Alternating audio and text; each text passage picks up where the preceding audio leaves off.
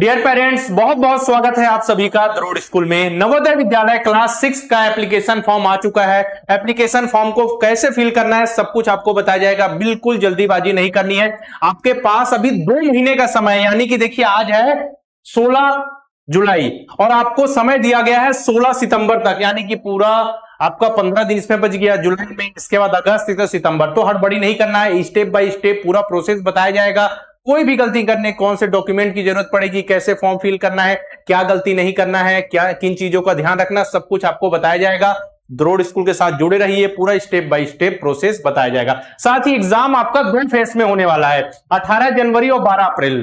ठीक है, किन बच्चों का एग्ज़ाम किस स्टेट वाले बच्चों का एग्ज़ाम कब होगा, इस वीडियो में मैं बिल्कुल एक्सप्लेन करूँगा। एक एक राज्य की लिस्ट होगी यहाँ पे कि 18 जनवरी को किन बच्चों का एग्ज़ाम है और 12 अप्रैल को किन बच्चों का एग्ज़ाम होने वाला है? साथ ही कौन सी वेबसाइट पर जाकर आप एप्लीकेशन फॉर्म देख सकते हैं? कहाँ पे आपको दिखेगा कि हमारा क्लास सिक्स नवोदय विद्यालय का एप्लीकेशन फॉर्म आ चुका है। तो मैं आपको बताऊँ, करना क्या है आपको? ध्यान से देखिए यहाँ पे। नवोदय विद्यालय समिति, क्या है? नवोदय विद्यालय समिति आपको सर्च करना है। जैसे ही आप नवोदय विद्यालय समिति सर्च करेंगे, या फिर आप वेबसाइट एक नोट कर लीजिए, H T T P S इसके बाद आपको Navodaya dot G O V dot in यहाँ से भी आपको ये साइट मिल जाएगी। यहाँ से नवोदय विद्यालय का फॉर्म जो है एप्लीकेशन फॉर्म क्लास सिक्स का ओपन हो जाएगा। देखिए, यहाँ पे लिखा हुआ है click here to submit online application form class क्या है? Six Navodaya Vidyalaya selection test 2025 2025 click किया मैंने। तो देखिए, यहाँ पे क्या क्या चीज़ें आपको दिखेंगी। क्लिक हियर फॉर रजिस्ट्रेशन यहाँ रजिस्ट्रेशन करना है, उसके लिए क्लिक करना है। रजिस्ट्रेशन करना मैं बताऊँगा। बिल्कुल अभी जल्दीबाजी नहीं है, सब कुछ समझना है। साथ ही हम आपको बताएँगे क्या क्या चेंजेस हुए हैं डिस्ट्रिक्ट पहले डिस्ट्रिक्ट वाला जो डोमिसाइल वाला था ना, इसमें क्या चेंजेस हुआ है मैं आपको बताऊँगा। किन बच्चों का एग्ज़ाम कब है, क्या डेट ऑफ़ बर्थ में कोई चेंज किया गया है एज की एलिजिबिलिटी में कोई चेंज किया गया, सब कुछ बताऊँगा। वेट कीजिए, है ना? चलिए देखिए, अगर आपने एप्लीकेशन फॉर्म जब आप भर लेंगे, ठीक है तो रजिस्ट्रेशन फॉर्म जब आप रजिस्ट्रेशन कर लेंगे तो रजिस्ट्रेशन फॉर्म यहाँ से डाउनलोड कर सकते हैं, अपना रजिस्ट्रेशन नंबर फाइंड कर सकते हैं। देखिए यहाँ प्रोस्पेक्टस ये प्रोस्पेक्टस आपके लिए ज़रूरी यहाँ सभी चीज़ें, जितनी भी चीज़ें यहाँ लिखी हुई हैं। प्रोस्पेक्टस में डाउनलोड करके आपको बता दे रहा हूँ, देखिए, ये आ गया प्रोस्पेक्टस देखिए, बिल्कुल नया सा, है ना? जैसे आप नए बच्चे हैं, अभी तैयारी कर रहे हैं 2025 के लिए, है ना? तो बिल्कुल नया प्रोस्पेक्टस रेडी होके आ चुका है। एक एक चीज़ पूरा डिटेल सिलेबस लेके हर चीज़ यहाँ पे दी हुई है। हम आपको सब कुछ एक्सप्लेन करेंगे, है ना? लास्ट तक जुड़े रहिएगा बस, सब कुछ एक्सप्लेन आपको किया जाएगा। कब किसका एग्ज़ाम होने वाला है सब कुछ बताया जाएगा। दो फेस में एग्ज़ाम होगा, ठीक है? दो फेस में आपका एग्ज़ाम होगा। कौन सी वेबसाइट आपको मैंने बताई? Navodaya dot G O V dot in की वेबसाइट पे या नवोदय विद्यालय समिति सर्च के आप यहाँ तक एप्लीकेशन फॉर्म तक पहुँच सकते हैं और कैसे रजिस्ट्रेशन करना हो आपको उसका प्रोसेस यहाँ पे दिख जाएगा। चलिए अब आगे बढ़ते हैं।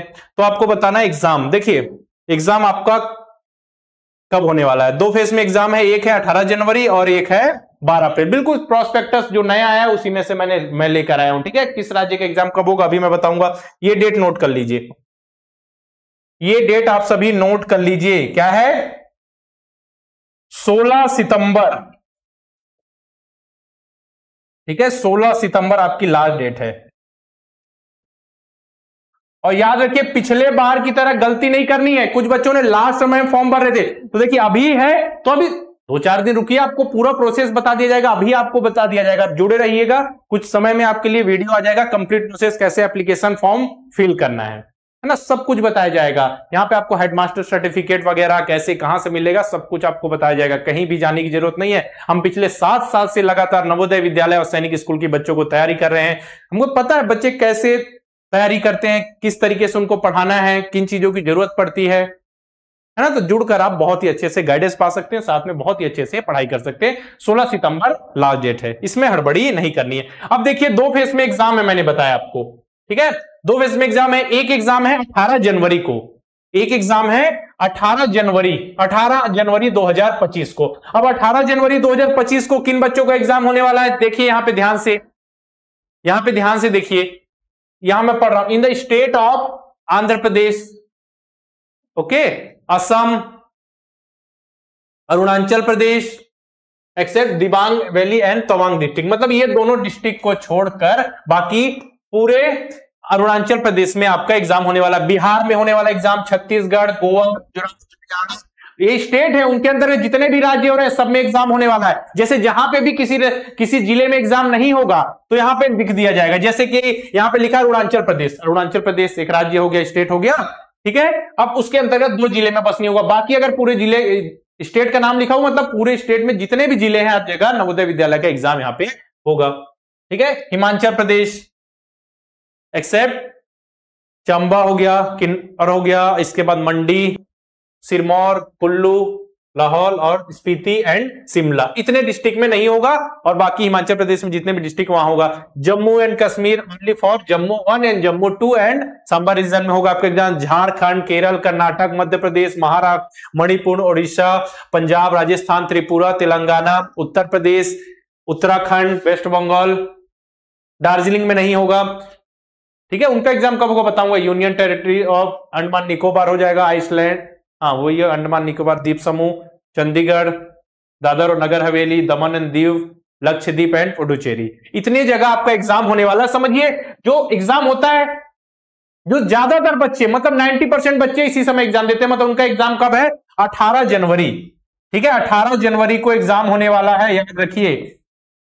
18 जनवरी को आप सभी का एग्ज़ाम है, लगभग सभी राज्य यहाँ पे कवर है। कुछ जो यहाँ पे ज़िले छोड़ दिए गए हैं, किसी राज्य के तो वो अलग है। और बाकी जो बच्चे बच गए, जो नॉर्थ ईस्ट वाले बच्चे हैं, ठीक है? नॉर्थ ईस्ट के लिए उनका एग्ज़ाम कब होने वाला है? कब होने वाला है? बारह अप्रैल को। देख लो, उनके लिए बहुत समय है। मतलब उनको ज़्यादा समय दे दिया गया है ना? हमको तो जनवरी के हिसाब से मैंने आपको रेडी किया था। बिल्कुल एप्लीकेशन फॉर्म का टेंशन नहीं लेना था। लेकिन एप्लीकेशन फॉर्म तो अब आ चुका है। तो एप्लीकेशन फॉर्म भरने का प्रोसेस बता दिया जाएगा। बिल्कुल ये मत। हड़बड़ाना बिल्कुल नहीं है। आप सभी को प्रोसेस स्टेप बाय स्टेप बताया जाएगा। बस आप अपनी पढ़ाई को कंटिन्यू कीजिए किसी दिन। एप्लीकेशन फॉर्म के लिए समय निकालिए बढ़िया। और आपका एग्ज़ाम जनवरी में होने वाला है ज़्यादातर बच्चों का। अब 12 अप्रैल को किन बच्चों का एग्ज़ाम होने वाला जरा देखें। 12 अप्रैल को किन बच्चों का एग्ज़ाम होने वाला है? 12 अप्रैल को देखिए यहाँ पे साढ़े ग्यारह बजे से एग्ज़ाम है। यहाँ भी साढ़े ग्यारह बजे से तो हमको पता है दो घंटे का एग्ज़ाम होता है। In the state of Jammu and Kashmir ठीक है, जम्मू एंड कश्मीर। देखिए, जम्मू एंड कश्मीर में यहाँ 18 जनवरी को था, लेकिन यहाँ पे क्या लिखा हुआ? Only for Jammu one, two and Samba. देखिए, लिखा है मतलब कि केवल और केवल जम्मू वन, जम्मू टू और सांबा में आपका एग्ज़ाम होगा। यहाँ जब 18 जनवरी। और उसके अलावा जो जम्मू एंड कश्मीर में जित एरिया वहाँ पे 12 अप्रैल को होगा। मेघालय मिजोरम नागालैंड यानी नॉर्थ ईस्ट उत्तर पूर्वी जितने भी राज्य हैं यहाँ हो गया। In the district of Dibang valley and Tawang of Arunachal Pradesh जो वहाँ बच गए थे ठीक है? In the district of Chamba देखिए हिमाचल प्रदेश के जो ज़िले बच गए थे वहाँ एग्ज़ाम कब होगा? बारह अप्रैल को होगा।